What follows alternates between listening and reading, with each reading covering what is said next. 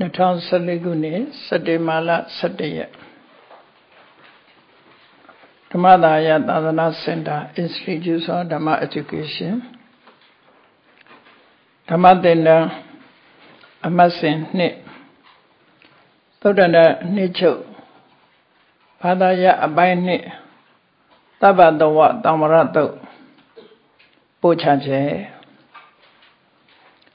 မနေ့က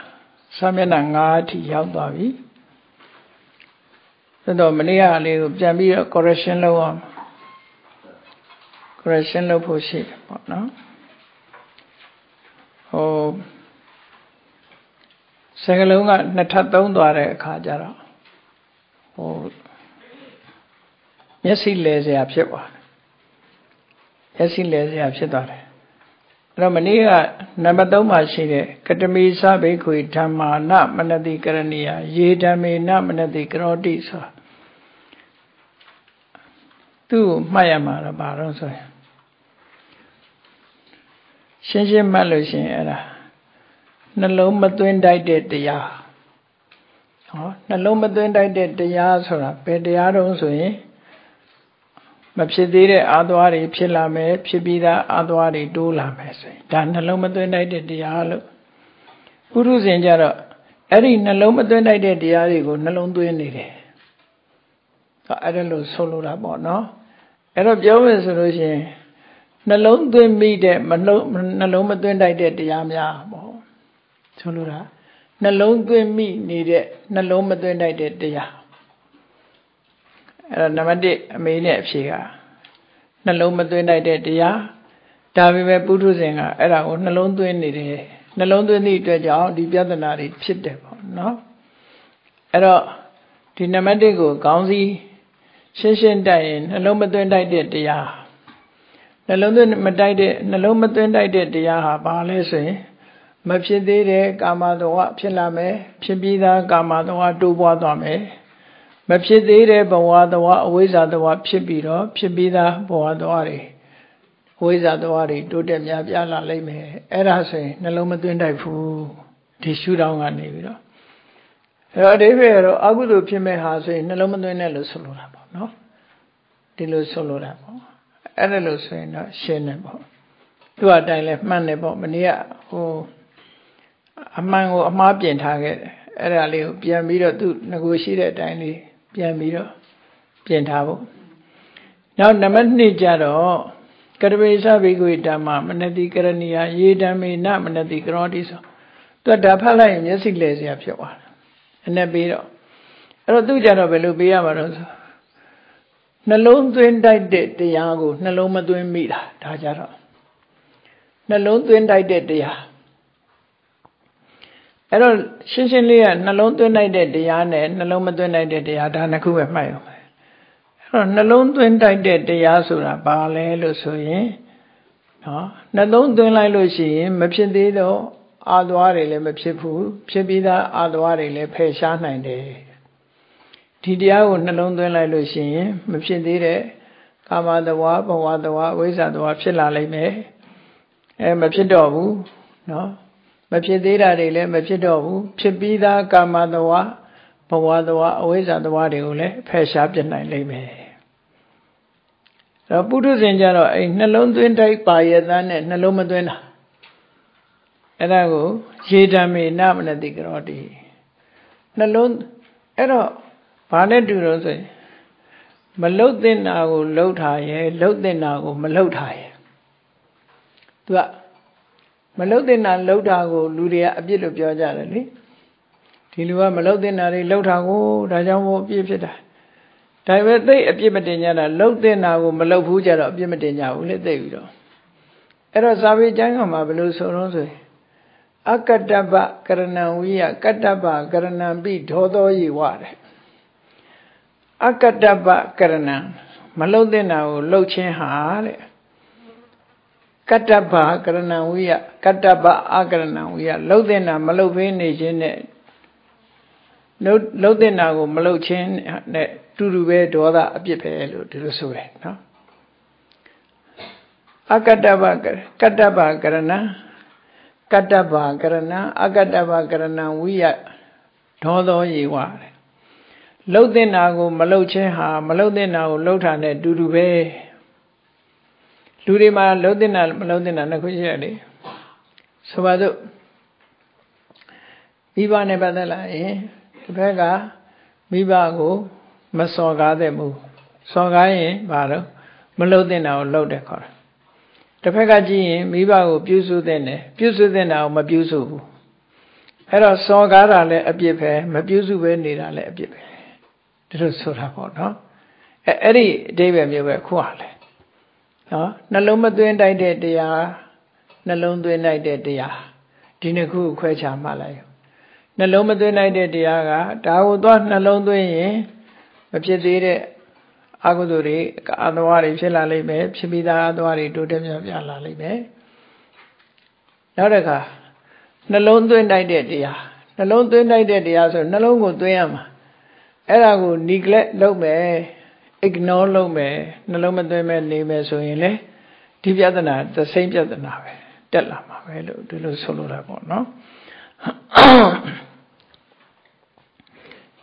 အဲ့တော့နှလုံးသွင်းလိုက်တဲ့တရားကနှလုံးကိုသွင်းရနှလုံးသွင်းရင်ဘာဖြစ်နှလုံးသွင်းလိုက်တဲ့တရားဆိုတာဘာလဲဆိုရင်ဟောနှလုံးသွင်းလို့ရှိရင်အခုတိုင်ကာကာမတဝ မဖြစ်သေးတဲ့ကာမတဝဘဝတဝအဝိဇ္ဇာတဝမဖြစ်တော့ဘူးဖြစ်ပြီးသားတွေလည်းဖယ်ရှားပြနိုင်တယ်နှလုံးသွင်းတဲ့တရားသို့တော့နှလုံးသွင်းနိုင်ုံနဲ့ဖယ်ရှားနိုင်တာမဟုတ်ဘူးနှလုံးသွင်းနိုင်တဲ့တရားကိုနှလုံးသွင်းရမယ်နော်အဲ့တော့ဒီနှစ်ခုကစကားလေးကလဲနေတော့မျက်စိတွေလဲကုန်မျက်စိလဲသွားတယ်မျက်စိလဲသွားတယ်အဲ့တော့ပထမဟာကိုမှတ်ဖို့ရက နှလုံးသွင်းနှလုံးမသွင်းလိုက်တဲ့တရားကိုနှလုံးသွင်းရင်အဲ့တော့နှလုံးမသွင်းလိုက်တဲ့တရားဆိုတာဘာတွေလဲတော့နှလုံးသွင်းလိုက်တဲ့တရားကိုနှလုံးမသွင်းရင်အဲ့တော့နှလုံးသွင်းလိုက်တဲ့တရားကဘာတွေလဲဒါပဲကြည့်အောင်မယ်အဲ့တော့ရှင်းရှင်းလေးကတော့နှလုံးသွင်းတိုက်မသွင်းလိုက်တဲ့တရားရယ်သွင်းလိုက်တဲ့တရားရယ်နှစ်ခုပဲမှတ်ရမယ်နော်နှလုံးမသွင်းလိုက်တဲ့တရားနှလုံးသွင်းလိုက်တဲ့တရားနောက်ကမှအလုတ်ကိုပြောရမှာ နှလုံးမသွင်းလိုက်တဲ့တရားကိုနှလုံးမသွင်းနဲ့နှလုံးသွင်းလိုက်တဲ့တရားကိုနှလုံးသွင်းအဲ့ဒီမှာဆန့်ကျင်ဘက်ကြဘာဖြစ်တော့ဆိုနှလုံးမသွင်းလိုက်တရားကိုနှလုံးသွင်းရင်နှလုံးသွင်းလိုက်တာကိုနှလုံးမသွင်းမဲ့နေရင်ဟောအပြစ်ဖြစ်သွားပြီအဲ့ကြဒီလိုဆိုလိုတာပေါ့နော်အဲ့တော့အဲ့ဒီဟာတွေကဲဒါမနေ့ကရှုပ်ထွေးနေတာကိုအတွေးလွဲသွားတဲ့အခါအတိလဲလွဲသွားတယ်ကြောက်เสียကောင်းတဲ့မောဟပဲအဲ့ဒါ အတွေးလွဲသွားရင်ဒါနော်မရဘူးအတွေးလွဲသွားရင်စဉ်းစားလိုက်တာကဘာသွားစဉ်းစားတော့ဆိုရဇတ်တစ်ခုသွားစဉ်းစားပြီးစကားနှစ်ခုပေါင်းစဉ်းစားလိုက်တာစကားနှစ်ခုပေါင်းလိုက်ရင်ရှုပ်သွားရောသူကရှင်းရှင်းလေးကနှလုံးမသွင်းလိုက်တာရဲ့နှလုံးသွင်းလိုက်တာရဲ့ဒါပဲမှတ်ရုံပဲအဲ့တော့ပြီးတော့မှနှလုံးမသွင်းလိုက်တာဆိုရင်နှလုံးမသွင်းနဲ့နှလုံးသွင်းလိုက်တာဆိုရင်နှလုံးသွင်းမသွင်းမဲနေရင်လာလိုက်ပဲအပြဿနာဒီလိုဆိုလို့တယ်နော်သူကနဲ့သူအဲ့လိုဆိုလို့တယ် ကဲဒါတော့ရှေ့သွားရအောင်စာမျက်နှာနံပါတ်5ဒိဋ္ဌိတန်ယောဇနတန်ယုတ်တော်ဘိခဝေအတုတဝပုထုဇနောနပရိမုစတိဇာတိယစရာယမရဏေနသောကေဟိပရိဒေဟိဟိဒုက္ခေဟိဒေါမနတေဟိဥပယတေဟိအဲ့နာထီအောင်တပိုက် တချောင်းမိုက်နပရိမုစတိဒုက္ခသမတိဝရာမိ conclusion ပြောတာအိစ္ဆာယူဝါဒတွေမှားရင်းစွာယူထားတယ်ယောနိသောမနတိကာရအယောနိသောမနတိကာရကြောင့်တန်တရားတွေဝင်လာတယ်အခုဒီပိုင်းမှာနော်ဒီခဏက နှလုံးသွင်းလိုက်နှလုံးမသွင်းလိုက်တာကိုနှလုံးသွင်းတယ်နှလုံးသွင်းလိုက်တာကျတော့နှလုံးသွင်းမဲ့နေမဲ့ဆိုရင် problem တွေကပါလာတော့ဆိုတန်တရားတွေလာလိမ့်မယ်အတိတ်နဲ့ပတ်သက်တဲ့တန်တရား၅မျိုးအနာဂတ်နဲ့ပတ်သက်တဲ့အနာဂတ်ဘဝနဲ့ပတ်သက်တဲ့တန်တရား၅မျိုးပစ္စုပန်ဘဝနဲ့ပတ်သက်တဲ့တန်တရား6မျိုးဟော16ပါးသောယုံမတန်တရားတွေဝင်လာလိမ့်မယ်အဲ့ဒီလိုဝင်လာပြီးတဲ့အခါမှာလဲ အယူဝါဒ6မျိုးတဲ့ကတခုခုတော့ယူမိလိမ့်မယ်တဲ့ဒီ6မျိုးတဲ့ကတခုခုယူမိလိမ့်မယ်အတ္တဟာသာဝရရှိတယ်ဆိုတာလည်းယူခြင်းယူလိုက်မယ်တဲ့အတ္တဟာသာဝရပြတ်ဆဲတယ်လို့လည်းယူခြင်းယူလိုက်မယ်တဲ့သာဝရမရှိဘူးဆိုတာသာဝရပျောက်ပြက်သွားတာကိုပြောတာနတ္ထိကနော်သာဝရပြတ်ပျောက်ပြက်သွားတာ materialist တွေလို့ပေါ့ materialism ဆိုတာရုပ်ဝါဒသမားကနောင်ဘဝမရှိဘူးလေသိပြီးရောဆွဲဝါဒ အကုန်လုံးညင်းပယ်တာဘတ်တန္တာအာဟုတိရောတယ်မင်းတို့အကြီးကျယ်လှူဒန်းနေတာတွေကပြာမှာအဆုံးသတ်တယ်ပေါ့ပြာဖြစ်သွားရင်ပြီးရောနော်ယာဝလဟာပရဏာနိယာဝလဟာပရဏာနိတဲ့လူတွေရဲ့ခုံနေဆိုတာတင်းကြိုင်းမှာအဆုံးသတ်တယ်သူပြောတာဟုတ်တယ်လို့လူရှိတယ်သေသွားရင်သေသောသူကြာရင်မေ့သွားကြတော့ခုံနေ drug တွေဆိုတာတင်းကြိုင်းရောက်ရင်ဆုံးသတ်သွားပြီတဲ့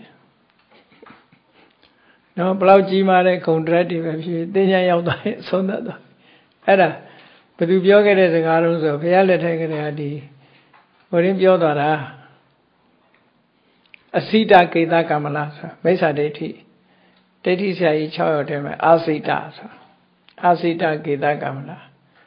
သူ့ရဲ့ fashion ကသူဝတ်တဲ့အဝတ်ကသူကတပြည့်နဲ့မဟုတ်ဘူးလူစပင်နဲ့ရက်ထားတဲ့ကမလာအထည်ကြီးကိုဝတ်ထားသူ သူလည်းလှူတဲ့လူတွေပြည့်နေမှာပဲကြာသူဝတ်တဲ့အဝတ်ကတပြည့်မဟုတ်ဘူးလူစပင်ကိုမှရက်လောက်ထားတဲ့အဝတ်ကိုဝတ်ထားလူရဲ့စပင်နဲ့ရက်ထားတဲ့အဝတ်ကြီးဝတ်ထားစတစတနဲ့နေမှာပဲကြည်ရတာချောချီချောချီမြတ်စွာဘုရားအဝတ်တွေထဲမှာတဲ့လူစပင်နဲ့ရက်ထားတဲ့အဝတ်ဟာအဆိုးဆုံးပဲတဲ့ဘာလို့တော့ဆိုရင်အေးတဲ့အခါမှာသိအေးတယ်တဲ့ပူတဲ့အခါလည်းပူတယ်တဲ့ရာသီဥတုမမြတ်တာဘူးတဲ့ပြီးတော့အနှံ့ဆိုးတယ်တဲ့ သူနေပူလိုက်ရင်လည်းအနှံ့ဆိုးထွက်တာဟောင်းတောင်းတော့အနှံ့ထွက်လာမှာလူတွေမှာရှိတဲ့ခေါင်းကအများနဲ့ဖိနေကြလို့လေဆိုရင်ရှိတဲ့လူတွေပိုသိတာပေါ့နော်ဆိုရင်ကအများတန်းတန်ရှင်းဖိလိမ့်နေလို့ဒီလိုဖြစ်တာဟုတ်အဲ့ဒါကြောင့်မို့သူကလူဆံပင်အဝတ်ကြီးဝတ်ပြီးတော့ခုနတရားတွေဟောတာသူကအေးလူတွေရဲ့ဂုံတရဆိုတာသင်္ချိုင်းမှာပဲဆုံးသတ်တယ်တဲ့ နော်ဓာတုပညတံယတိရန္တနာလူတွေတန်းတယ်ဆိုတာလူမိုက်တွေထွင်ထားတာတဲ့ဘာလာတင်းတိပဏိတာကနင်းတိတဲ့ထပ်ဖွင့်လိုက်သေးတယ်သူကနော်ဘာလာတင်းတိတဲ့လူအတွေကပေးတာတဲ့ပဏိတာကနန်းတိတဲ့လူလိမ္မာတွေကယူကြတာတဲ့ပေးတဲ့လူကိုလူမိုက်လို့ပဲပြောပြောတာသူတော့ဘာတွေနဲ့စားနေတယ်မသိဘူးသူများလူတာစားရင်တော့သူ အဲ့လိုမျိုးပေါ့နော်အဲ့ဒီဝါဒမျိုးတွေဆိုလို့တဲ့နတ္ထိမေအတ္တဥစ္စေရာဒိဋ္ဌိကိုတော့နော်သိရင်သာဝရပြတ်စေဘာမှမရှိဘူးသူကဘာမှမရှိလို့နောက်ဘဝခံစားရမရှိဘူးလို့ပြောတာဒီဘဝပြီးရင်ပြတ်တယ်ဒီပြင်ဘာသာတွေမှာလည်းပဲကြည့်ဒီလမ်းဆုံးနေတာသူတို့ကနှစ်ဘဝလောက်ပဲလက်ခံတဲ့သဘောရှိတယ် ဘုရားသခင်ဖန်ဆင်းလို့လူဖြစ်လာတယ်ဒါတဘဝသိသွားလို့ရှိရင်ဘုရားသခင်ကနေပြီးသာဝရငရဲနဲ့သာဝရကောင်းကင်ဘုံပဲပို့မယ်ဆိုအဲ့ဒီနောက်လူဘာမှမရှိတော့ဘူးလေသာဝရငရဲဆိုသေသွားရောငရဲတခါတည်းနေတော့နော်တခါတည်းအပိုင်စားပေးလိုက်မယ်နောက်တစ်ခါကောင်းကင်ဘုံကလည်းအဲ့ဒါအပိုင်စားပဲနေဘယ်တော့မှပြန်မလာနဲ့တော့ဥစ္စေရဒိဋ္ဌိတစ်မျိုးပဲသူကလည်း အဲ့လိုဆုံးလို့တာဒါ materialist တွေကြတော့ရုပ်ဝါဒီသမားတွေကြတော့သူကအဲ့ဒီသာဝရငရဲနဲ့သာဝရကောင်းကင်ဘုံတော့မရှိဘူးသူကြတော့သေတာနဲ့ပြီးရောခုနယာဝလဟာပရာနာနိနဲ့တူတူပဲသူကအစိတရဲ့ဝါဒ materialist ပဲ materialism ပဲသူကရုပ်ဝါဒလူတွေရဲ့ခုံတရဟာသင်္ချိုင်းမှာအဆုံးသတ်တယ်လို့ပြောတာအဲ့ဒါပဲသူကဗမာပြည်မှာတော့အရင်ကပေါ်ခဲ့ဘူးလေ ပခက်နဲ့အခေါင်းကြားဆိုပြီးတော့ရေးတာဘဝဆိုတာပခက်နဲ့အခေါင်းကြားမှာပဲရှိတယ်ဟိုဘက်လည်းမရှိဘူးနောက်မှလည်းမရှိဘူးရှေ့မှလည်းမရှိဘူးဒါ materialism ပဲသူကတဘဝတည်းပဲလက်ခံအတိတ်ဘဝဆိုတာလည်းမရှိဘူးနောက်သိပြီးတဲ့နောက်လည်းဘာမှမရှိဘူးသူပြောလိုတာကတော့အဲ့ဒါပခက်ကဆင်းလာအခေါင်းထဲဝင်ပြီးပြီထားပဲနောက်ထပ်ဘာမှမြုံနေတယ်ပ ခက်တဲ့ခုံပြီးတော့အခေါင်းထဲဝင်တော့တာတော့ခက်နဲ့အခေါင်းကြားတယ်အဲ့ဒီဝါဒတွေတည်းကတခုဖြစ်လာမယ်တဲ့အဲ့ဒီလိုဒိဋ္ဌိဆိုတဲ့တန်ရောစဉ်ကြိုးကြီးအစွဲလန်းကြီးတခုကိုယ်တဏ္ဍမှာရှိနေတာတန်ရောစဉ်ကြိုးကြီးဖြစ်သွားတယ်နော်တန်ရောစဉ်ကြိုးကြီးဖြစ်သွားလို့ရှိရင်ဘာဖြစ်လဲဆိုတော့ဖះ အဲ့ဒီတန်ရောစဉ်ကြိုးရဲ့အပြစ်ကိုပြောမလို့ခုဟာဘိက္ခွေယံတို့ဒိဋ္ဌိတန်ရောဇနတန်ယုတ်တော်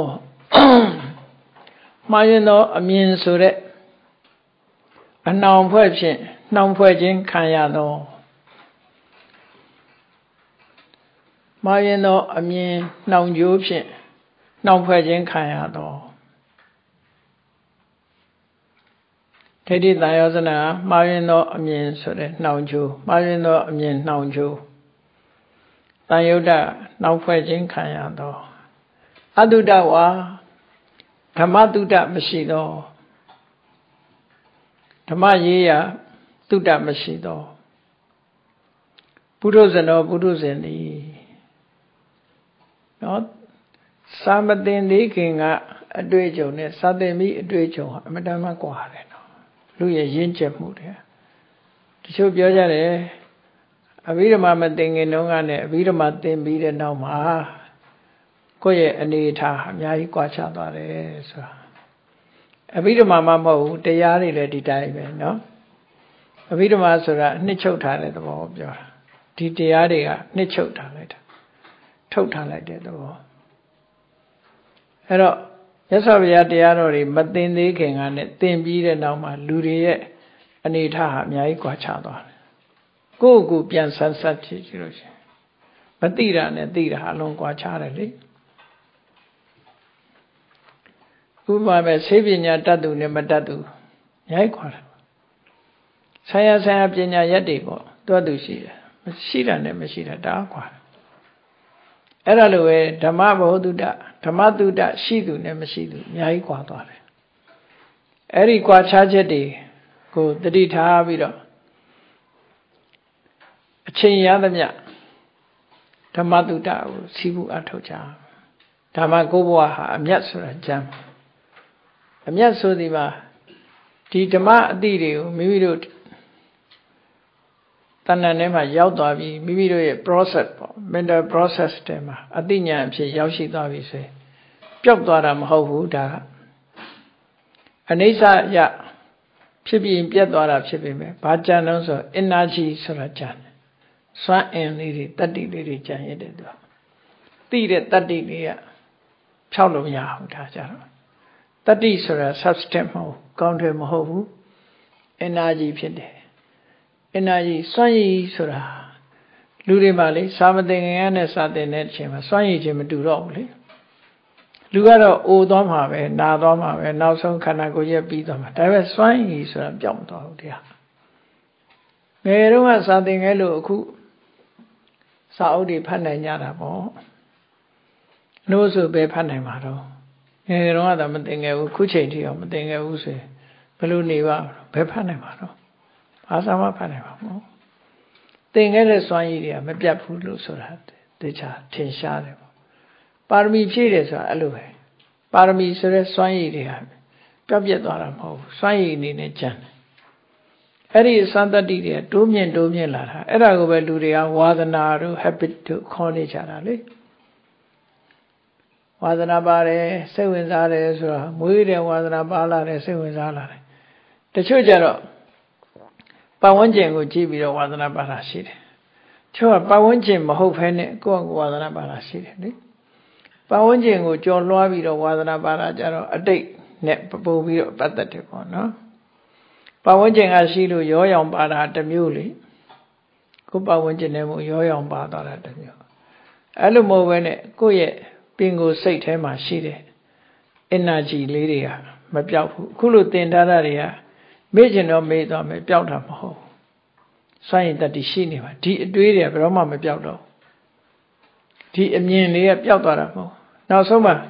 ဖះနဲ့တွေ့ရင်ဘွားနဲ့ပြန်ပေါ်အောင်ပါပဲဟောလိုက်တာနဲ့သူပြန်ပေါ်တယ်တော့နတ်ပြည်ရောက်တော့လို့နတ်သားချင်းချင်းနတ်သမီးချင်းချင်းနတ်ပြည်မှာတရားဟောတဲ့ပြမာတွေနတ်တွေလာဟောလို့ရှင်လေချက်ချင်းပွင့်သွားတယ်မြတ်စွာဘုရားအဲ့လိုဟောတယ်ချက်ချင်းပွင့်သွား ဒါမို့ဝိသခါတို့ခုနှစ်နှစ်သောတပန်ဖြစ်တယ်ဆိုတာသူလှုပ်ထားခဲ့တဲ့ဟာတွေပွင့်သွားတာလေအစရတဲ့ဖူးတောင်မဖူးသေးတဲ့လူပဲပွင့်မှာတော့ဗျာချက်ချီတောင်မစုသေးဘူးဖူးဖို့နေနေတာအကင်းလေးတောင်မထွက်သေးဘူးဆိုအဲ့တော့အခုတော့အကင်းလေးလောက်တော့ဖြစ်တော့ပါပြီအကင်းလေးလောက်ဖြစ်လာအကင်းလေးလောက်တဲ့နောက်မကဘူးများလာတဲ့အခါကျတော့ဖူးငုံဖူးရင်လောက်ဖြစ်လာတွေ့တာနဲ့အခါတည်း ပွင့်သွားမှာအသိဉာဏ်စာအဲကြောင့်ဒါကြိုးစားတင်ရတယ်ကြိုးစားမှတ်ရမယ်တရားတွေနော်အဲ့တော့ကြည့်ရသော်ဗျာအတုတဝါဓမ္မတုတမရှိတော့ဓမ္မတုတဆိုတာနှစ်ခုရှိတယ်လို့တနည်းပြောထားတယ်အာဂမအဓိကမဘာဝညေးရအတုတဝါအာဂမတုတအဓိကမတုတအာဂမတုတဆိုတာ အခုလိုမြတ်စွာဘုရားတရားဓမ္မတွေနဲ့ပတ်သက်ပြီးတော့ရတာသိတာမှတ်ထားတာတရားဓမ္မတွေရတယ်မှတ်ထားတယ်အဓိကမဆိုတာကိုကိုယ်တိုင်ကြင်ကြံကြိုးကိုအားထုတ်လို့ရထားတယ်အသိဉာဏ်နေတာရထားတယ်အဓိကမတရားဓုအာဂမနဲ့အဓိကမဒီနှစ်ခုတစ်ခုခုအနည်းဆုံးရှိရမယ် နှစ်ခုလုံးရှိမှတုတလို့ဒီလိုဆိုလိုတာနှစ်ခုလုံးမရှိတဲ့ပုဂ္ဂိုလ်အတုတလို့ပြောတာဒါကြောင့်မို့ပြောမယ်ဆိုရင်စာတတ်တဲ့ပုထုဇဉ်တချမ်းပဲစာမတတ်တဲ့ယဟန္တာသူကြတော့ဒီဘက်ကစာမတတ်ဘူးလို့ဆိုပဲသူကစာရဲ့လုပ်ငန်းတွေကိုပြီးနေလို့သူကြတော့တချမ်းပဲလို့မခေါ်နိုင်တော့ဘူးနော် စာမတတ်ပေမဲ့ယဟန္တာပြည့်စုံနေပြီသူကသူလုံငန်းပြည့်စုံစာတတ်တဲ့ပုထုဇဉ်စာတတ်တဲ့တရားဓုမရဘူးတရားဓုရတယ်စာမတတ်ဘူးစာလည်းတတ်တယ်တရားဓုလည်းရတယ်စာလည်းမတတ်ဘူးတရားဓုလည်းမရဘူးဆိုအညံ့ဆုံးကတော့စာလည်းမတတ်ဘူးတရားဓုလည်းမရဘူးကအညံ့ဆုံးစာတတ်တဲ့တရားဓုမရသေးဘူးဆိုရင်တဝက်ရနေပြီပြည့်စုံတယ် တရားဓုရတယ်စာမတတ်ဘူးဆိုရင်လည်းပြည့်စုံတော့ဖြစ်နေနှစ်ခုစလုံးဆိုရင်တော့မပြောနဲ့တော့ပေါ့နော်အဲနှစ်ခုစလုံးဖြစ်အောင်အတုတဝါဓမ္မရေးရာတုတမရှိသောပုထုဇဏောပုထုဇဉ်သည်အနာပုထုဇဉ်ပုဂ္ဂိုလ်သည်ဘာဖြစ်လဲဆိုတော့ရသော်ဗျာဒီအကုန်လုံးဒုက္ခကြီးလို့တော့မဟောပါဘူးတန်တရားဥက္ကမလွတ်တာကိုပြောတာပါနော် ဒီဓမ္မတုဒ္ဒမရှိလဲပွဲတော့ကြည်ရမှာပါနော်ရှောက်လျာရမှာပွဲတော့ကြည်လို့ရမှာဓမ္မတုဒ္ဒမရှိရင်လည်းမိသားစုနဲ့ပြောပြောပါပါတော့နေရအောင်မှာပါပဲနေတဲ့အခိုက်လေးတွေရှိအောင်မှာပါနတ်ဖြစ်တဲ့အခိုက်ရှိမယ်လူဖြစ်တဲ့အခိုက်ရှိတယ်ကောင်းတဲ့ဘဝတွေရောက်အောင်မယ်ကောင်းတဲ့ကုသိုလ်တွေလုပ်နေလို့ရှင်ကောင်းသို့တော့ဘာမှဖြစ်တော့ဆိုရင် အိုခြင်းတရားဘယ်တော့မှမလွတ်ဘူးနာခြင်းတရားဘယ်တော့မှမလွတ်ဘူးသိခြင်းတရားဘယ်တော့မှမလွတ်ဘူးဒါတွေနဲ့ပြန်တွေ့နေရမယ်လို့ဆိုလိုတယ်နော်ကုသိုလ်ကောင်းမှုလုပ်လို့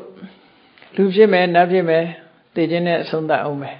ဒီလိုဆိုလိုတာပေါ့ဒါကြောင့်မို့ဘုရားခြုံပြီးတော့ပြောတာအဲ့ဒီဘုရုဇဉ်ပုဂ္ဂိုလ်အနေနဲ့ဘဝမှာမပြောရဘူးလို့ဆိုလိုတာတော့မဟုတ်ဘူးသာတိယပရိသနေနေခြင်းမှနာပရိမုစတိမလွတ်ဘူးနော် ပြန်ပြန်မွေးဦးမှာပဲတဲ့စရာယအိုရခြင်းမှမွေးပြီးတဲ့နောက်မှာအသက်ကြီးလာမယ်ဥမင်းလာမယ်စရာယအိုရခြင်းမှနာပရိမုစတိမလွတ်ဘူးမရဏေနသေခြင်းမှလည်းနာပရိမုစတိမလွတ်ဘူးတောကေဟိတောကဖြစ်ရခြင်းတို့မှလည်းနာပရိမုစတိမလွတ်ဘူးပရိဒေဝေဟိငိုကြွေးရခြင်းတို့မှလည်းနာပရိမုစတိမလွတ်ဘူးတဲ့ဒုက္ခေဟိကိုဆင်းရဲခြင်းတို့ကလည်းနာပရိမုစတိမလွတ်ဘူး ဒေါမနတေစိတ်ဆင်းရဲရခြင်းတို့မှလည်းနာပရိဝစတိမလွတ်ဘူးဒါတွေကလုံးဝမလွတ်နိုင်ဘူးလို့ပြောတယ်အဲ့ဒါအပြစ်ပဲဓမ္မမသိရင်ဒီတိုင်းဖြစ်မှာဒီလိုဆိုလိုတာနော်ဓမ္မမသိရင်ဓမ္မကိုမကျင့်ရင်ဒီတိုင်းဖြစ်မှာဟိုငရဲချမှာတို့တိရစ္ဆာန်ဖြစ်မှာပြိတ္တာဖြစ်မှာဒါတွေတင်ပြောတာမဟုတ်ဘူးနော် အေးကုသိုလ်ကောင်းမှုတွေလုပ်လို့နတ်ဖြစ်ခြင်းဖြစ်မယ်မြမာဖြစ်ခြင်းဖြစ်မယ်နော်လူဖြစ်ခြင်းဖြစ်မယ်ဒါပေမဲ့ဒီဆက်ကွင်းနေမလို့ဘူးလို့ဆိုလို့တယ်ပေါ့နော်ဒီအခြေအနေတွေကမလွတ်နိုင်ဘူးဥပါယတေဟိစိတ်ပင်မညင်တို့မှာဒေါသကိုကောက်တာပြင်းထန်တဲ့ဒေါသစိတ်ပင်မညင်တို့မှာနပရိမုစတိမလွတ်နိုင်ဘူးခြုံပြောလိုက်မယ်တဲ့ဒုက္ခသမဒုက္ခမှာနာပရိမုစတိမလို့ဒုက္ခသမဆိုတာခန္ဓာ၅ပါးကိုပြောတာဒီကြတော့ နော်ကျန်တာတွေအကုန်ပြောလိုက်တာဒုက္ခသစ္စာခန္ဓာ၅ပါးခန္ဓာ၅ပါးဆိုတရားကုန်သွားပြီလေဒုက္ခသမဒုက္ခမှာမြတ်စွာဘုရားကဒုက္ခလို့ပြညတ်တယ်ဒုက္ခသမုဒယလို့ပြညတ်တယ်ဒုက္ခនិရောဓလို့ပြညတ်တယ်လေဒုက္ခနဲ့ဒုက္ခនិရောဓဒုက္ခဆိုတာတန်တရားရဲ့ဖြစ်တာဒီမှန်သမျှအကုန်လုံးခန္ဓာ၅ပါးလုံးဟာဒုက္ခ ချမ်းသာခံစားနေတာလည်းဒုက္ခပဲဇာယနေတာလည်းဒုက္ခပဲဇမာဖြစ်တာလည်းဒုက္ခပဲဒီလိုဆိုလို့တယ်ဘဝမှာရသမျှဟာတွေရတယ်ယောဘိခွေရူပတ္တဥပ္ပါရောဒုက္ခတိသောဥပ္ပါရောတဲ့အဲ့တရားရပြောမယ်ဆိုရင်မျက်စိရလာတယ်နားရလာတယ်နှာခေါင်းရလာတယ်လျှာရလာတယ်ကိုယ်ရလာတယ်ခန္ဓာကိုယ်ကြီးရလာတယ်ဘဝတစ်ခုရလာတယ်လူတွေကတော့ဟာငါဘဝကောင်းတယ်ချမ်းသာတယ်ကျင့်တတ်စရာကောင်းတယ်လို့ဆိုပဲဘုရားကအဲ့ဒါဘာရတာတော့ဆိုဒုက္ခရတာလို့ပဲဟောတာ ဟုတ်တယ်လေ problem တွေအလုံးဟာဒီမှာလာမှာပဲယောဂဖြစ်တာခန္ဓာရှိလို့ဒါကြောင့်မို့လို့ဒုက္ခတမဆိုတဲ့စကားလုံးကအဲ့ဒါတွေကိုရည်ညွှန်းတယ်လို့မှတ်တာခန္ဓာ၅ပါးကိုရည်ညွှန်းလိုက်တာနော်ဘုရားဟောတယ်မို့လားတန်ခိတ်တေနပစ္စုပါဒနေခန္ဓာဒုက္ခဆိုလေဒွယ်စက်ကြမှာဟောထားတာအဲ့ဒီဒုက္ခကိုပြောတာကိုပစ္စုပါဒနေခန္ဓာဒုက္ခ အဲ့တော့လောကုတ္တရာတရားကတော့ကိုမမရတာဒုက္ခတွေထည့်လို့မရဘူးလေအဲကြောင့်လောကီခန္ဓာတွေကိုဆိုလို့တယ်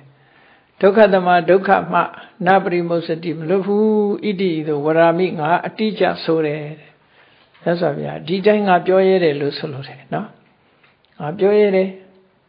လုံးဝမလွတ်နိုင်ဘူးလို့ငါပြောရဲတယ်ဓမ္မတုဒ္ဒမရှိဘူးဆိုလို့ရှိရင်တော့ဒီတိုင်းပဲသွားမယ်လို့ဆို ဒါကအဆိုးကိုအရင်ပြောပြီးတော့အကောင်းဘက်ကိုပြောမှကြည့်နောက်တစ်ခုကကဲဒါလေးကိုဖတ်ကြည့်ပါ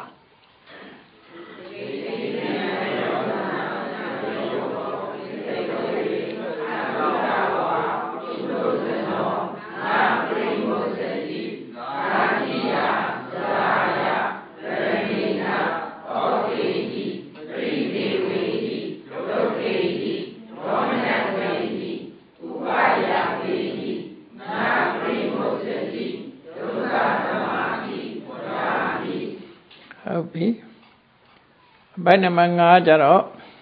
ကောင်းတဲ့ဘက်ကိုပြောရမှာဒါဓတနာအမြင်နဲ့ဓမ္မအမြင်နဲ့ဖယ်ရှားတာအာသဝတွေကိုဖယ်ရှားတာနဲ့ပတ်သက်သုတ္တကိုဒီဓမ္မအမြင်ဟာဘလောက်အရေးကြီးရဆိုတာကိုဒါတွေကိုဘုရားဓတနာပါတပအာသဝတွေကိုလေအမြင်နဲ့ဖယ်ရှားအသိဉာဏ်နဲ့ဖယ်ရှားမယ်ဟာလေကဲတော့ ဆိုးဘက်ပြောပြီးတော့အကောင်းဘက်ကနေပြောသုတ္တဝါစခောဘိက္ခွေရိယတာဝကောခြေသုတ္တရှိရင်တော့အရိယတာဝကဖြစ်တယ်အတုတ္တဝါကျတော့ပုထုဇနာကဘာကြီးကိုခြုံကြည့်လိုက်ပေါ့ဒီတမောင်း9000လောက်ရှိတဲ့ကဘာမှာရှိတဲ့လူလို့သတ်မှတ်ထားတဲ့လူသားတွေကြီးပဲချိပေါ့သုတ္တနဲ့အတုတ္တသုတ္တဆိုတာနည်းလေးပဲရှိတာပေါ့နော်ဓမ္မသုတ္တနည်းလေးပဲရှိတယ်ကျန်တာတကယ်ပြောတော့ကိုကိုဘဝကိုစာဝတ်နေရေးပြည့်စုံအောင်လုပ်တယ်ဆိုတာဘဝတစ်ခုချမ်းသာမှုအတွက်လုပ်ကြတာဆိုဟောလုပ်နိုင်ကြတယ်လို့ပြောရမယ်ဒါမထူးဆန်းမှုလို့ပြောဒီဘဝကလွတ်မြောက်ဖို့အတွက်လုပ်ထားကြတော့လမ်းကြားတော့မကြဘူးဆိုတာမျိုးပြောပါအိမ်မက်တဲ့တော့မမက်ဘူးတခါမှ နော်ဓမ္မဆိုအိမ်မက်တဲ့တော့မဲရတာမဟုတ်ဘူးမသိတဲ့လူတွေကိုပြောတာဘုရားဘာသာကြီးတော့ခဏခဏမဲ့မှာပါဘာဆိုဖရာတရားနဲ့နေတဲ့လူကတော့ခဏခဏမဲ့ကောင်းပဲလေဒါဒီလုံးဝမကြားဘူးတဲ့လူတွေကြတာစိတ်ကူးတယ်လည်းမရှိဘူးဒါကြောင့်မို့တချို့ကနိုင်ငံသားတွေနဲ့စကားပြောအေးလွယ်ရမြအောင်မေ့နေတယ်သူတို့ကအရှိကိုအနောက်လို့တွေးတာကိုကအနောက်ကိုအရှိလို့တွေးတာအနောက်ကိုအရှိလို့တွေးတာနဲ့အရှိကိုအနောက်ကိုတွေးတာ ကြောချင်းကသွားနေတယ်လို့ပဲလို့သူ့မြင်ကိုမြင်တားกว่าတယ်လို့မတူဘူးလို့ မတူတာကိုမြင်တယ်လို့မြင်လိုက်မယ်လို့မအောင်မေးလိမ့်နဲ့အဲ့တော့ဟိုသူတို့မှအိမ်မက်ထဲမှာမဲ့မှာမမဲ့ထားဒါတွေကလေအတွေးကိုမတူအမေရိကန်ရောက်တော့ကအမေရိကန်မျိုးသမီးတယောက်ကဘုရားဘာသာနဲ့သိမရင်းနှီးဦးထွားရဲ့အဲ့မှာဘုန်းကြီးကို လက်ဆွဲနှုတ်ဆက်ခြင်းလို့လက်ကမ်းတော့ဘုန်းကပြောပြတာနောက်ရုပ်ပြီးတော့ဘုရားဘာသာဘုန်းကြီးတွေကဒီလိုလုံးလို့မရှိဘူးလို့ဘယ်လိုမှမအောင်မေးပါနဲ့လို့ပြောတော့သူက I have you married သူကမေးတာ No we live single life single life တို့ကဘု န်းကြီးဆိုတာ celibacy လို့အဲ့ဒီ life of celibacy မှာနေတာလို့ဆိုသူကတွေးပြီးတော့ hot day light ဘယ်လိုဘဝကြီးပါလိမ့်တယ်ဟုတ်မစင်စားတဲ့အကြောင်းပြောပြတာပါ celibacy ဆိုရင်ဘယ်လိုဘဝကြီးတုံးနေသူကသူ့အနေနဲ့သူမချိုက်ဘူးဒီဘဝအဲ့ဒါတကယ်ကြုံခဲ့တာကိုတကယ်ကြုံခဲ့တာသူက hot day light ဘယ်လိုဘဝကြီးပါလိမ့်သူတို့ကဒီလိုဘဝမျိုးမချဘူးဘဝမရှိဘူးမစင်စားဘူးကောင်းလေးမှမရှိဘူးအဲ့ဒါလောက်တရားဝေးတာတွေလည်းအများကြီးရှိတယ်နော်အများကြီးရှိတယ်နည်းနည်းဒီဗမာပြည်လားလဲပြီးတချို့ဘုရားဘာသာစိတ်ဝင်စားလို့တရားထုတ်ဖူးတွေလားလက်တဆုပ်စားလောက်ပဲရှိတယ်ဘာသာတရားကိုစိတ်ဝင်စားတဲ့လူကတကယ်ကဟိုကိုလိုဝင်စားလိမ့်မယ်လို့မအောင်မေးလိမ့်နဲ့နော် နိုင်ငံညာသူတို့လည်းသူတို့ဘဝသူတို့ပဲစိတ်ဝင်စားတယ်ဒါလေးစိတ်ဝင်စားအောင်တုဒ္ဒဝါစာခေါ်ဘိက္ခွေရိယတာဝကောဘိက္ခွေယံတို့တုဒ္ဒဝါ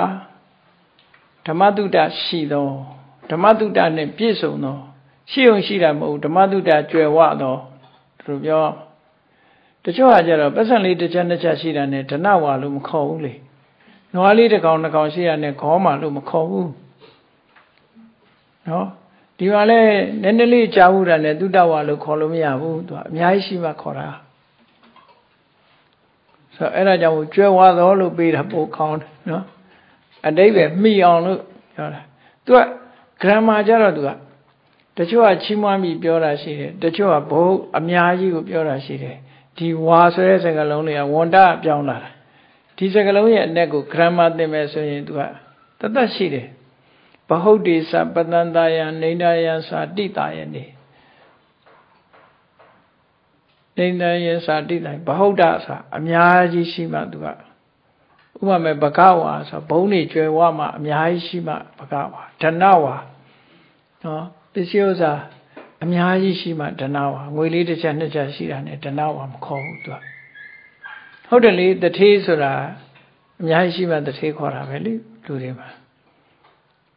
သီလဝါဆိုတာလည်းပဲတကယ်ကိုဖြူစင်ပြီးတော့တန်ရှင်းတဲ့သီလရှိတဲ့ပုဂ္ဂိုလ်မှာသီလဝါခေါ်တာအဲ့တော့သုဒ္ဓဝါဆိုတာလည်းပဲကြားဘူးယုံလေးနဲ့သုဒ္ဓဝါမခေါ်ဘူးဟုတ်ဘောဓုတဓမ္မတုတနဲ့ပြည့်ဝကျွယ်ဝသောလို့ပေးမှပို့ဆင်ပြေတယ်နော်တုတဝါ ဓမ္မတုတကျွယ်ဝသောဓမ္မရေးရတုတကျွယ်ဝသောအရိယသာဝကောမြတ်စွာဘုရား၏တပိသာဝကသည်အရိယနဲ့ပုထုဇနာဆိုနှစ်ခုထားတယ်မြတ်မြတ်ဖြူစင်တဲ့ပုဂ္ဂိုလ်အရိယအရိယသာဝကော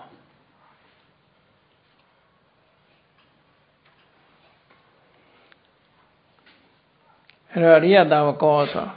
သူ့ရဲ့အခြေအနေတွေကိုနောက်ကနေဆက်ပြီးတော့ပြန်ပြောမလို့နောက်ကအရိယဆက်လာမယ်ဒါဒါက main ပေါ့နော် main ပြောပြီးတဲ့အခါကျတော့အဲ့ဒီသုတဝါကြားမြင်ရှိတဲ့ပုဂ္ဂိုလ်ဟာပါ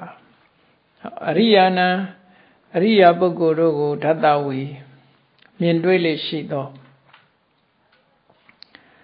မြင်တယ်ဆိုတာဒီနေရာမှာမျက်စိနဲ့မြင်တာကိုပြောတာမဟုတ်ဘူးဓတ္တဝီ ဟိုအရိယာတွေရှိတယ်အရိယာဆိုတာဘယ်လိုဆိုတာကိုအသိဉာဏ်နဲ့မြင်တာကိုပြောတာနော်အသိဉာဏ်နဲ့မြင်တာကိုပြောတာရိုးရိုးမျက်စိနဲ့ကတော့မျက်စိရှိတဲ့ကောင်တိုင်းမြင်ကြမှာပဲလေယဟနာမြင်နေမှာပဲဒီဒါနဲ့ပတ်သက်ပြီးတော့အထက်ကထာမှာရေးထားတဲ့ story လေးတစ်ခုရှိတယ်ရှေ့ကဆရာတော်ကြီးတစ်ပါးဆွမ်းခံသွားတော့ရှေ့ကဆရာတော်ကြီးတစ်ပါးရှေ့ကကြွသွားနောက်ကသူ့တပည့် ဦးစင်းကြီးကနောက်ကလိုက်ဆွမ်းခံသွားကြတော့လမ်းကြတော့စကားပြောတော့ရှင်ဘုရားယဟန္တာဆိုတာဘယ်လိုပုံကိုယ်တုံးပြယဟန္တာတွေ့ဘူးလားချင်တာလေသူကပြောတော့ရှေ့ကဆရာတော်ကြီးကတကယ်ယဟန္တာကြီးသူကယဟန္တာကြီးရှေ့ကသူ့ရှေ့ကသွားနေတာအတူနဲ့တူတူနေတာယဟန္တာကိုယဟန္တာမှမသိသူကဓာတ်တော်ကြာမှယဟန္တာလို့ထင်တာတမရဲ့ယဟန္တာမှမသိတော့ ဆရာတော်ကြီးကငါယဟန္တာပဲกว่าလို့မပြောဘူးလေဘယ်လိုပြောတော့ဆိုအေးကွာယဟန္တာဆိုတော့မြင်မှုခက်ပါတယ်တွေ့ဖို့အမတန်ခက်တယ်ဘလောက်ထီအောင်တွေ့ဖို့ခက်တော့ဆိုနောက်ကနေလိုက်နေတောင်ကိုရှိရသွားတာယဟန္တာလို့မသိနိုင်ဘူးယဟန္တာနောက်ကတကောက်ကောက်လိုက်နေအောင်ကိုရှိရသွားတာယဟန္တာလို့မသိဘူးတဲ့အဲ့လိုပြောတာလဲသူကသဘောပေါက်သေးဘူး အဲ့ဒါလောက်ထီအောင်အမြင်ခက်ပါတယ်ဆိုလိုတာကိုနဲ့တူနေလည်းမသိနိုင်ဘူးပေါ့ရဟန္တာဟုတ်တယ်မဟုတ်ဘူးကိုနဲ့တူနေလည်းမသိဘူးသူနောက်ကလိုက်နေလည်းကိုမသိဘူးရှေ့ကသွားနေလည်းမသိဘူးပေါ့နော်အဲ့ဒါလို့ဆိုလိုတာအဲ့ဒါကြောင့်မလို့ထေရဆရာပြောတာအေးမျက်စိနဲ့မြင်တာကိုပြောတာမဟုတ်ဘူးတဲ့ယဟန္တာဆိုတာဒီပုဂ္ဂိုလ်ကတကယ်ယဟန္တာပဲလို့ဆိုတာညာနဲ့မြင်မှာတဲ့မျက်စိနဲ့မြင်ရင်တော့မျက်စိကောင်းတဲ့လူတိုင်းမြင်မှာပဲတဲ့ဒါကိုဒီနေရာမှာ မျက်စိနဲ့မြင်တာကိုမဆိုလိုဘူးတဲ့ဒါလို့ဆိုလိုတယ်နော်အရိယာနာအရိယာပုဂ္ဂိုလ်တို့ကိုဓာတ္တဝီမြင်လေးရှိသောအရိယတအရိယဓမ္မတကောပြီးတော့အရိယတရား၌ကျွမ်းကျင်လိမ္မာမှုရှိသောအရိယဓမ္မေအရိယတို့ဤတရား၌သူဝိနိတော်လေ့ကျင့်သင်ကြားအပ်ပြီးသော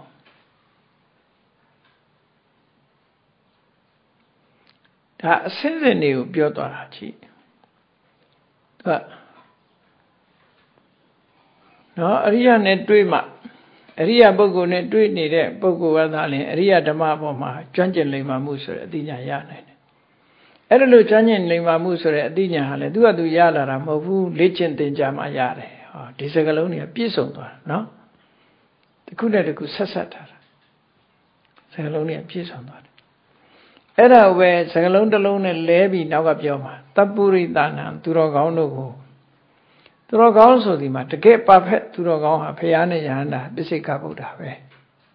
ဒါမှပါဖက်ဉာဏ်နဲ့ဟာသူတော်ကောင်းအပြည့်စစ်ပါဖက်မဖြစ်သေးဘူးဉာဏ်နဲ့ဟာ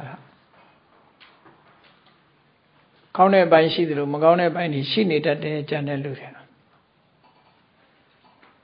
သဗ္ဗရိတဏံသူတော်ကောင်းတို့ကိုဓာတ္တဝေ ဉာဏ်ဖြင့်မြင်လေးရှိသော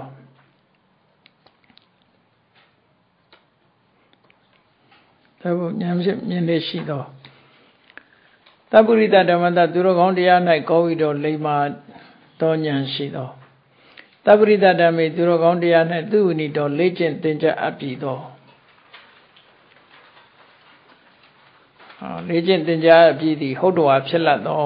အရိယသာဝကနော် ဘိက္ခွေယံတို့တုဒ္ဒဝါဓမ္မရေးရာဘုဒ္ဓကျွယ်ဝတုဒ္ဒကျွယ်ဝသောအရိယသာဝကောအရိယသာဝကသည်နောက်တနည်းပေးပြမြန်မာစကား6အရိယာဏတတဝေအရိယာတို့ကို တွေ့မြင်နေရှိသည်အရိယဓမ္မတအရိယတရား၌ကောပြီးတော့လိမ္မာကျွမ်းကျင်သည်သောကိုသည်အရိယဓမ္မေအရိယတရား၌သူဝိနိတော်လေ့ကျင့်သင်ကြားအပ်ပြီသည်တပ္ပရိတာနံသူတော်ကောင်းတို့ဓာတဝေတွေ့မြင်နေရှိ တပ္ပရိတဓမ္မတတပ္ပရိသူတော်ကောင်းတရား၌ကောပြီးတော့လိမ္မာကျွမ်းကျင်မှုရှိသည်သဗ္ဗရိတဓမ္မေသူတော်ကောင်းတရား၌သူဝိနေတော်လေ့ကျင့်သင်ကြားမှုရှိသည်ဟုတ်တော့ဟာဖြစ်လတ်တော်လေ့ကျင့်သင်ကြားမှုရှိသည်ဖြစ်လတ်တော်အဲ့ဒီလိုရှိမှအကျိုးကဘာလို့ဆိုမနတိကရဏီယေဓမ္မေနှလုံးသွင်းလိုက်သောတရားတို့ကိုပဇာနာတိခွဲခြားသိ၏ နှလုံးသွင်းလိုက်တဲ့တရားဘာဆိုတာသိတယ်ဒီမှာတစ်ခုအမနတိကရဏီယေနှလုံးမသွင်းတတ်ကုန်သောဓမ္မေတရားတို့ကိုပသနာတိသိနှလုံးသွင်းလိုက်တဲ့တရားကိုသိတယ်နှလုံးမသွင်းလိုက်တဲ့တရားကိုသိတယ်သောထုဓမ္မရေးရတုတ္တကျွဲဝါသောအရိယသာဝကသ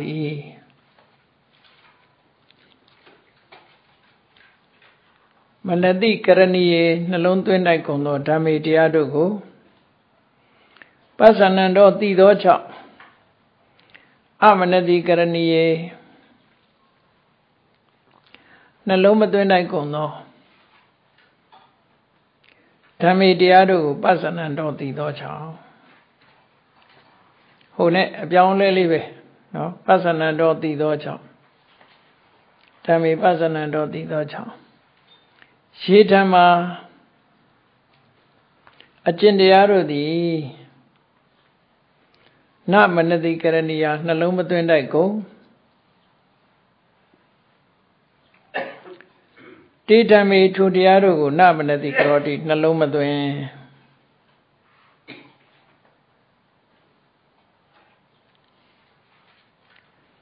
ရှေဓမ္မာနမနတိကရဏီယာအဲ့နောက်မှာတစ်ချောင်းပိုက်လေးရှိရနော် ရှေဓမ္မာအကျင့်တရားတို့သည်နမနတိကရဏီယာနှလုံးမသွင်းနိုင်ကုန်တိဓမ္မေထိုတရားတို့ကိုနမနတိကရောတိနှလုံးမသွင်း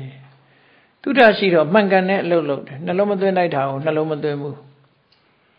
ရှင်းလာတော့ကနှလုံးမသွင်းလိုက်တာကိုနှလုံးသွင်းတယ်နော်ပြောင်းပြန်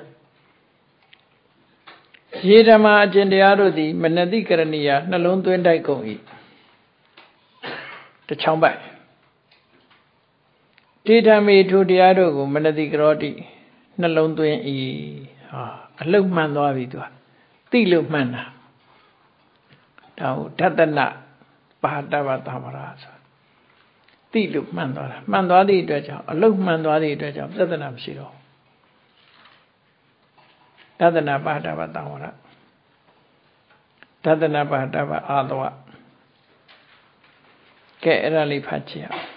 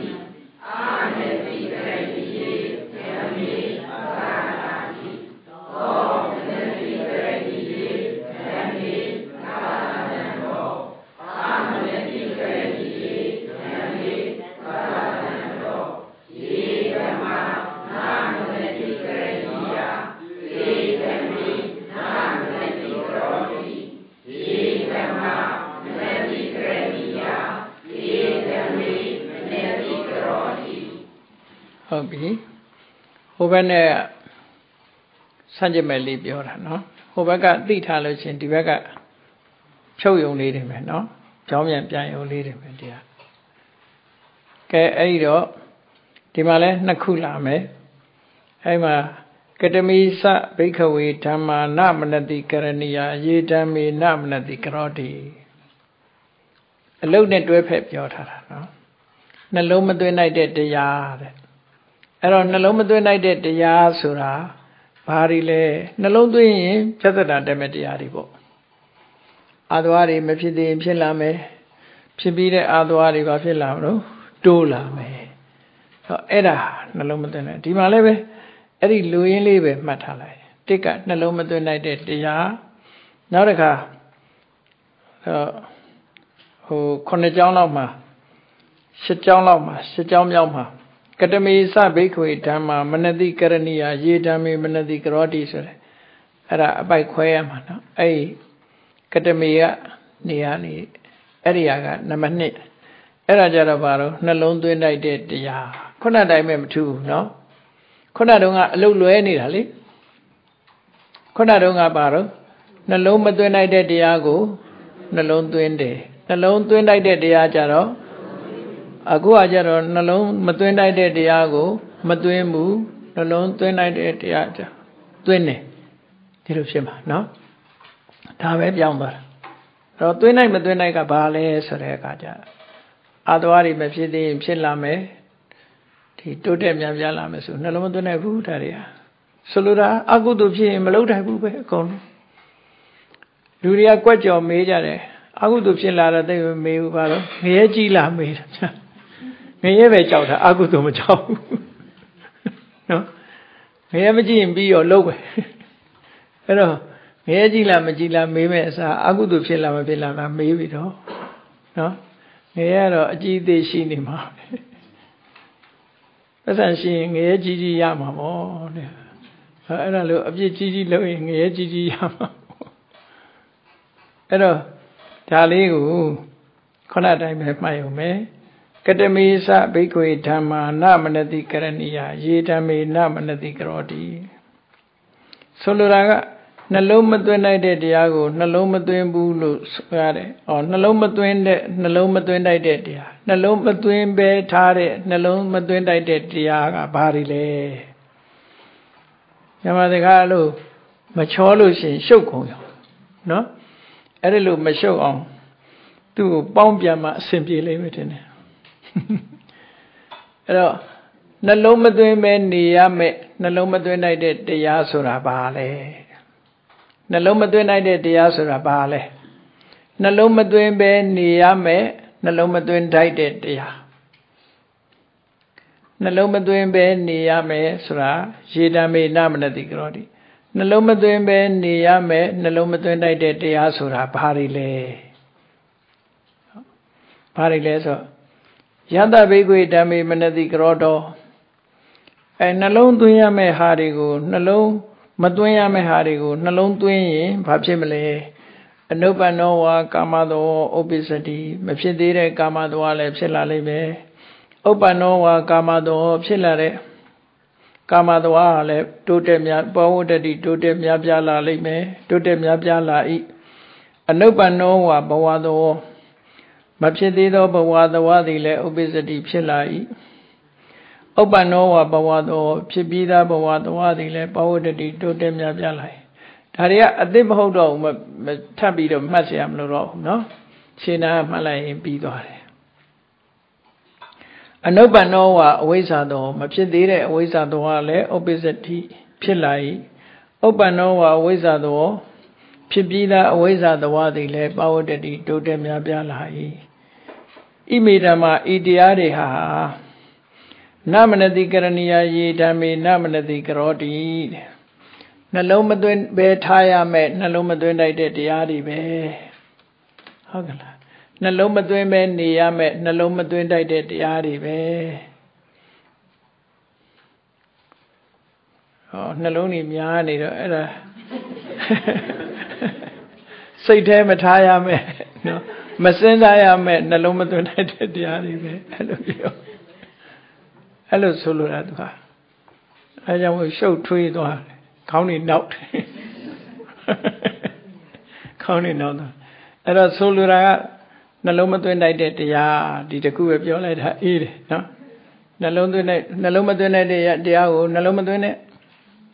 ဟာပဲနှလုံးမသွင်းနိုင်တဲ့တရားဒီ မဖြစ်သေးတာတွေဖြစ်လာလိမ့်မယ်ဖြစ်ပြီးရင်တိုးပွားလိမ့်မယ်မကောင်းတာတွေနော်ဒီလိုဆိုလိုတာပေါ့ကဲအဲ့ဒါလေးဖတ်ကြည့်အောင်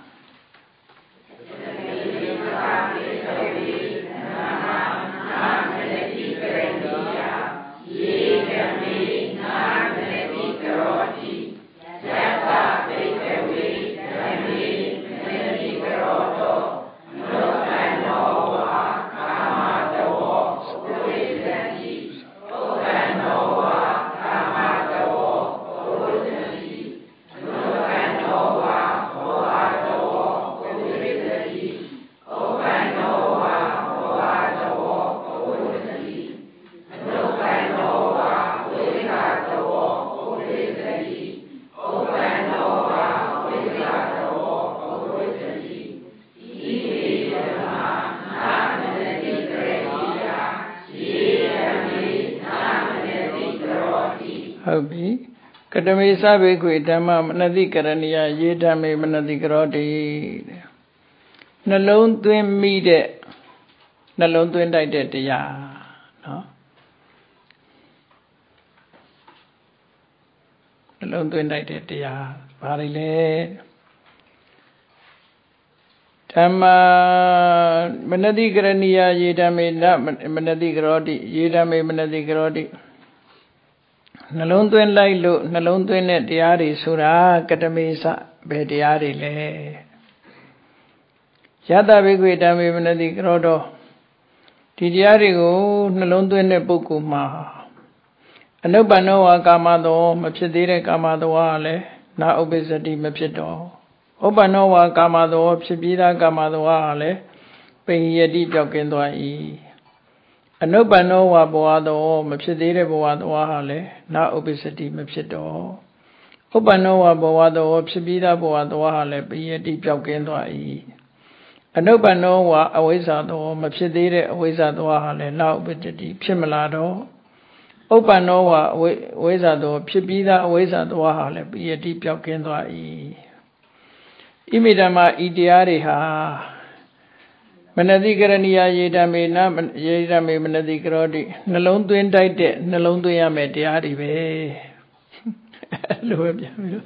နှလုံးသွင်းနိုင်တဲ့နှလုံးသွင်းရမယ်တရားတွေပဲကဲအဲ့ဒါလေးဖတ်ကြည့်ပါ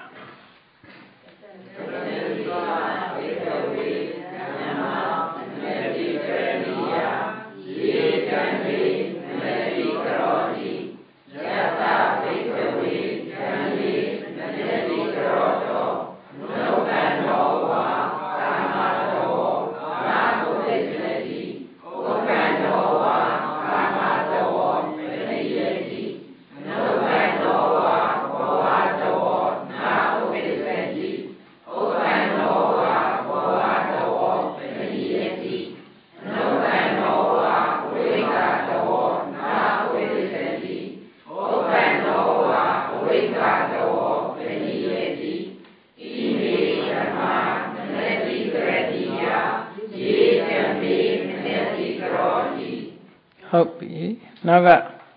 conclusion လေးဏီကုံးလေးကတတ္တအမလတိကရဏီယနန္ဓမနာအမလတိကာရာကောမမနတိကရဏီယနန္ဓမနာမနတိကာရာမနတိစိတ်၌ကာရာပြုတာစိတ်၌ပြုတယ်ဆိုတာနှလုံးသွင်းတာစိတ်၌ပြုတယ်ဆိုတာအနုပ္ပန္နစေဝအာသဝနာဥပ္ပသန္တိတချောင်းပိုက် ဥပ္ပန္နသအာတဝပိယန္တိဒါရဇတ်ပဲနော်အမနတိကရဏီယာနံနှလုံးမသွင်းတိုက်ကုန်သောဓမ္မနံတရားတို့ကိုနှလုံးမသွင်းတိုက်တဲ့တရားတွေကိုအမနတိကာရာနှလုံးမသွင်းခြင်းကြောင့်ဒါသူကနဲ့သူလောက်အောင်မလောက်တဲ့မလောက်နဲ့ဒီလိုဆိုလိုတာနော်နှလုံးမသွင်းနိုင်တဲ့တရားကိုနှလုံးမသွင်းခြင်းကြောင့် မနတိကရဏီယာနံနှလုံးသွင်းတိုက်ကုန်သောဓမ္မနာတရားတို့ကိုမနတိကာရနှလုံးသွင်းခြင်းကြောင့်မှန်သွားပြီသူကမှန်သွားပြီနှလုံးမသွင်းလိုက်တာကိုနှလုံးမသွင်းနဲ့နှလုံးသွင်းလိုက်တာနှလုံးသွင်းတတ္တထုပုဂ္ဂိုလ်အားဘာဖြစ်လဲအနုပ္ပန္နာစေဝအာသဝမဖြစ်သေးသောအာသဝတရားတွေဟာလည်းနာဥပ္ပစ္စန္တိဖြစ်မလာတော့ဖြစ်မလာတော့ဘူးဖြစ်မလာဘူး အဥပ္ပဇာနိဖြစ်မလာဘူးဥပ္ပန္နာသအာသဝါဖြစ်လာပြီးတဲ့အာသဝတရားတွေဟာလည်းပိယန္တိပျောက်ကင်းသွားကြတယ်ဖယ်ရှားလိုက်နိုင်တယ်ပျောက်သွားပြီလို့ဒါဝိပဿနာကျင့်စဉ်တစ်ခုကိုမြတ်စွာဘုရားဟောနေတာနှလုံးသွင်းလိုက်တယ်နှလုံးမသွင်းဘူးဆိုတာငါလို့နှလုံးမသွင်းရဘူးငါဟာလို့နှလုံးမသွင်းရဘူးပေါ့ငါငါဟာနဲ့သွားရင်ကာမသွားတွေတက်လာလိမ့်မယ်လေကိုမြင်သမျှအာယုန်တွေပေါ်မှာ ဒီကာမသဝါဆိုတာဘု து အတွက်ပြောတာတုံးဆို general point ကိုပြောတာအခုတာမန်လူသားတွေတရားထုတ်ကြတယ်ဇံမရတဲ့ပုဂ္ဂိုလ်တွေမြင်တဲ့အာယုံပဲဖြစ်စေကြားတဲ့အာယုံပဲဖြစ်စေမြင်တဲ့အာယုံကိုသိတဲ့စိတ်ကိုပဲဖြစ်စေယုံနဲ့နာဒီနှစ်ခုကိုနော်နှစ်သက်ဆရာကျင့်တတ်ဆရာအနေနဲ့သွားတွေ့ရင်ကာမသဝါဖြစ်မှာပဲလောဘဖြစ်မှာပဲလို့ဆိုလိုတယ်အဲ့တော့လောဘဖြစ်ရင်ဒေါသလာလိမ့်မယ်နောက်က နော်ကျေနပ်တာမကျေနပ်တာတွေလိုလာလိမ့်မယ်ကာမတောဖြစ်လာလို့ရှိရင်ဒေါသလည်းဖြစ်လာမှာပဲအဲ့တော့အဲ့ဒါမဖြစ်အောင်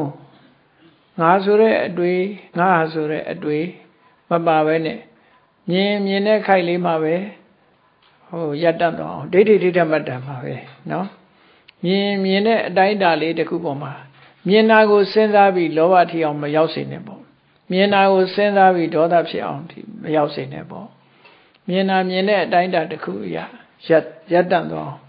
လေ့ကျင့်တာအဲ့ဒါကိုပြောတာမြင်တယ်မြင်တယ်လို့မှတ်ဆိုတာအဲ့ဒါကိုပြောတာရှေ့တိုးမသွားအောင်လုပ်တဲ့သဘောပဲဒါဒီနားရင်ရက်အောင်လုပ်တာချွာမြင်မြင်နဲ့မှတ်ရင်တော့ကြတယ်ဒါလေးမှတ်နေဟိုဘာလို့မှမသိပဲနဲ့ဖြစ်နေဘာစီဆရာတော်ဘုရားကြီးတို့သင်ပေးတာမြင်မြင်တယ်လို့မှတ်တော့တော့ဒါမဟာသရိပ္ပံတော့သူကျင့်စဉ်ပါပဲအဲ့ဒါကို မြင်မြင်တယ်လို့မှတ်ခြင်းအပြင်ရှေ့ဆက်မစင်စားဖို့မှတ်ခိုင်းတာနော်မြင်မြင်တယ်လို့မှတ်ဆိုတာဒီနားရင်ရလို့ပြောတာရှေ့မသွားနဲ့လူကရှေ့သွားတာကိုအမြဲတမ်းတလန်းလောက်ကတော့ကြောကြောထွက်သွားတာပဲအကုန်လုံးရှေ့ကိုလှမ်းညင်နေတာလူကမြင်ပြီးရင်စဉ်းစားပြီလေကြားပြီးရင်လည်းစဉ်းစားလိုက်တာပဲအနံ့ရရင်လည်းစဉ်းစားအနံ့လေးရဘာနှံ့မှလဲဟောလားဘာနှံ့မှလဲကြိုက်ရင်ကောင်းလိုက်တာဆိုတာနောက်ကလိုက်လာ လိုချင်လိုက်တာဘယ်မလို့အဲ့ဒီဟာဆိုလိုက်ရှာပြန်အဲ့ဒီလိုဖြစ်တာဟုတ်အဲ့တော့အဲ့ဒီဘက်ကိုမသွားအောင်လုပ်တာတားတာမြင်မြင်တယ်လို့ပဲမှတ်ကြားရင်ကြားတယ်လို့မှတ်ဒါကိုဒိဋ္ဌိဒိဋ္ဌမတ္တန်သူတိသူတမတ္တန်လို့ပြောတာအဲ့ဒီနောက်လိုက်စဉ်းစားပြီးလောဘဖြစ်အောင်မလုပ်နဲ့ဒေါသဖြစ်အောင်မလုပ်နဲ့လောဘဒေါသတွေမလာအောင်ဒီနာတွေရပ်ခိုင်းတာဖြစ်လာတဲ့ဇောဟာထိမ့်သိမ့်တဲ့ဇောပဲဖြစ်ရမယ်တချို့ကအဲ့ဒီနေရာမှာအထက်ကရာဖွင့်ထားတာလေးကရှင်းတဲ့ဒိဋ္ဌဒိဋ္ဌမတ္တန်ဟာ သူကဆိုပါတော့ဖြစ်စဉ်လေးတစ်ခုကိုကြည့်ပြောရမယ်ဆိုရင်ဖြစ်စဉ်လေးတစ်ခုမှာမြင်လိုက်တာနဲ့တပြိုင်နက်မြင်တဲ့အာယုံလေးအဆင်းအာယုံလေးကမျက်စိလေးကိုလာတိုက်လိုက်တာနဲ့တပြိုင်နက်ဘာတော့စိတ်တကားကိုဖွင့်ပေးလိုက်တာပင်စတရဝိသစိတ်တကားပွင့်သွားပြီအဲ့ဒါပြီးရင်ဘာလုပ်လဲမြင်လိုက်တဲ့သက္ခုဝိညာဉ်စိတ်အဲ့ဒါပြီးရင်ဘာပြီးတော့လက်ခံလိုက်တဲ့တမ္ပတိဆိုင်စိတ်အဲ့ဒါပြီးရင်စူးစမ်းတဲ့တန်တိရဏစိတ် အဲ့ဒါပြီးရင်ဝုထောနော်အဲ့တော့ဒီစိတ်တွေမှာကုသိုလ်အကုသိုလ်လောဘဒေါသဆိုတာမရှိသေးဘူးအဲ့ဒီအတိုင်းတာလေးတိုင်ကိုဇောမှဖြစ်စေရမယ်လို့ဆိုလိုတယ်ဒီဟုတ်တော်ရင်ရခိုင်းတာပြောတော့မဟုတ်ဘူးတချို့အဲ့မြင်မြင်နဲ့မှတ်ဆိုစက္ကုဝိညာဉ်နဲ့ရရက်လို့ပဲရမှာတော့လေဆက်နှိုးပြီးရက်ကြည့်ပါလားကားအဲ့ဒီရခိုင်းတာမဟုတ်ဘူးအဲ့ဒီအတိုင်းတာလေးနဲ့နေပါစေလို့ဆိုလိုတယ်နော် ဇောရီအောင်တော့ရောက်တော့မှာပဲမလို့အော်တိုမက်တစ်အဲ့ဒါရက်လို့မရဘူးတချို့အဲ့ဒီနေရာလေးကိုရက်တယ်လို့ထင်နေတာထက်ကရာဖွင့်တာအဲ့လိုလည်းမဟုတ်ဘူးရက်လို့လည်းမရဘူးလေစိတ်ဆိုတာကိုရက်မလို့ကြံတော့ဟိုသွားပြီလွန်သွားပြီပြီးနေပြီနော်ရက်တာနောက်ကျနေအဲ့တော့ proof ဆိုရောက်သွားပြီဟိုဟာတရားရက်မလို့စိတ်ကူးတော့ရှိတယ်အဲ့တော့ဒိဋ္ဌိဒိဋ္ဌမတ္တန်ဆိုတာဟာဘာပြောတာတုံးဆို မြင်တဲ့အတိုင်းတာတုံးကလောဘမပါဘူးဒေါသမပါဘူးအဲ့ဒီတိုင်းလေးဖြစ်ပါစေလို့ဆိုလိုတယ်ဒါမှဒိဋ္ဌိဒိဋ္ဌမတ္တန်အစ်စ်နော်ဒိဋ္ဌိဒိဋ္ဌမတ္တအစစ်ကအဲ့ဒါမျိုးဒါတောင်ကဒိဋ္ဌိဒိဋ္ဌမတ္တဒါပြင်အစစ်ဆိုအတုရှိလားဆိုရှိတယ်အတုကအတုမမရင်ပြောဆိုရင်တော့အတုပေါ့တာဒိဋ္ဌိဒိဋ္ဌမတ္တဆိုတာအဲ့ဒါကိုပြောတာမြင်တဲ့အတိုင်းတာတဲ့ ဇောဖြစ်တဲ့အခါမှာမပူစီနဲ့လို့ဆိုလိုတာလောဘတွေပဲဖြစ်စေနဲ့ဒေါသတွေပဲဖြစ်စေနဲ့ဒီနားမှာစိတ်ကိုရခိုင်းတာမဟုတ်ဘူးရက်လို့လည်းမရဘူးသူကမြင်လိုက်တာနဲ့တပြိုင်နက်ဒိုင်းဆိုအော်တိုမက်တစ်ကတခါတက်သွားတာအဲ့ဒါတွေနော်အဲ့တော့လောဘဖြစ်မဲ့အတွေးတွေမလားစေနဲ့ဒေါသဖြစ်မဲ့အတွေးတွေမလားစေနဲ့အဲ့ဒီနေရာမှာစောင့်စည်းမှုနဲ့ရပ်တန့်ရမယ်လို့ဆိုလိုတယ်တတိကအဲ့ဒီမှာအုပ်ရမှာဒီလိုပြောတာနော် အဲ့ဒါဒိဋ္ဌိဒိဋ္ဌမတ္တန်ကျင့်စဉ်ကအဘိဓမ္မာနဲ့ပြောမယ်ဆိုရင်ပိဿဒရဝီထီကတော့ဖြစ်သွားမှာပဲဘာမှလုံးလို့မရဘူးမနောဒရဝီထီလည်းလာမှာပဲနော်ပထမမနောရဝီထိပြန်အာယုပြုတယ်ဒါလောဘမလာသေးဘူးအဲ့ဒီအချိန်မှာနော်နောက်အမြင်နာမသိလာပြီလောဘမလာသေးဘူးအတိတ်ပဲသိလာပြီဆိုမှအဲ့ဒီနောက်မှလာမှာဒေဝီတိလောက်ကြာမှလာမှာအဲ့ဒီကြတော့မလာစေနဲ့လို့ပြောတာဒီအတိုင်းပဲနေပါစေရှေ့ဆက်ပြီးမစင်စားနဲ့တော့ အဲ့တော့အဘိဓမ္မာနဲ့သဘောရလေးဝိထီလောက်ရပြီးမှဒိဋ္ဌိဒိဋ္ဌမတန်လုံးလို့ရမှာနော်မြင်နေမြင်နေအတိုင်းတာလေးလောက်တယ်ပဲထားနိုင်ရမှာအ ਨੇ ဆုံး3ဝီထီ4ဝီထီကတော့ automatic သွားမှာပဲသူကနောက်ဆုံးမှာပထမတဝီထီကတော့သေချာပေါ့ပထမတဝီထီပြီးရင်ဒုတိယတဝီထီလာမှာပဲဒါပြန်စဉ်းစားတာဆိုလာတယ်အပြန်မစဉ်းစားအောင်အလေးကျင့်ကောင်းလာရင်တော့လေမြင်ပြီးရင်ပြုတ်ပျောက်သွားမှာပြန်မစဉ်းစားတော့ဒီပြန်နဲ့အစားထိုးတယ် နော်ဒဒီမြင်တဲ့ဟာကိုမကြည့်တော့ဘဲနဲ့ဒီပြဟာနဲ့အစားထိုးလိုက်တာအဲ့တော့ကိုမြင်လိုက်တဲ့ဟာဒီဒိဋ္ဌိဒေရမတ္တန်ဖြစ်သွားရောဒီကျင့်စဉ်ကိုမြတ်စွာဘုရားမာလုကျဗုဒ္ဓတို့ဘာဟိယတာရုစီရိယာတို့ကိုဟောတဲ့တရားအဲ့ဒီဟာနော်ဒီကဲဒီနာလေးခဏနားရအောင်နော်